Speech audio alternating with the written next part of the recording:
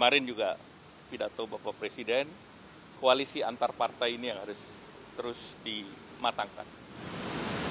Tapi kalau koalisi pusat termasuk juga komunikasi sama PKB, update Ini kita terus tim teknis sedang bekerja. Kita tunggu aja tim teknis. Bisa ini katanya nunggu waktu Bapak aja Mas. Kira-kira dalam minggu ini atau beberapa hari lagi?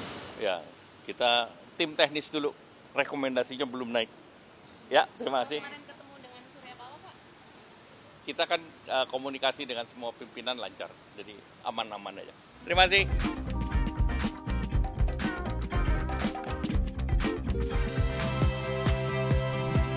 Saya Yasir Neneama. Saksikan program-program Kompas TV melalui siaran digital, pay TV, dan media streaming lainnya.